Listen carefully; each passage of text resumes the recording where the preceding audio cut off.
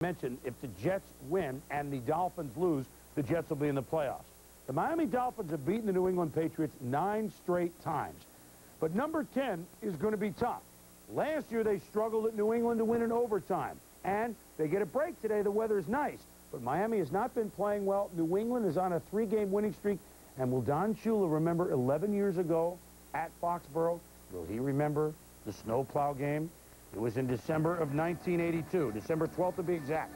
The weather is not like this today. But this is what the team saw. John Smith, a skittery field goal off the center's head. Andra Franklin gained a lot of yards, but he also gained some frostbite, because look at him go right there. It was scoreless with less than five minutes to go. And Mark Henderson, driving a John Deere, plowed the way for John Smith to kick it. Matt Cavanaugh to hold it.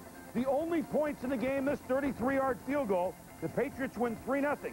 Don Shula can't believe that Mark Henderson was a on a work release program from a nearby prison, a convicted burglar, and he robbed the Dolphins of that victory. Now, the fortunate thing for Don Shula and company is the weather is, in, is like 40 degrees in New England right. today, so no snowplow game.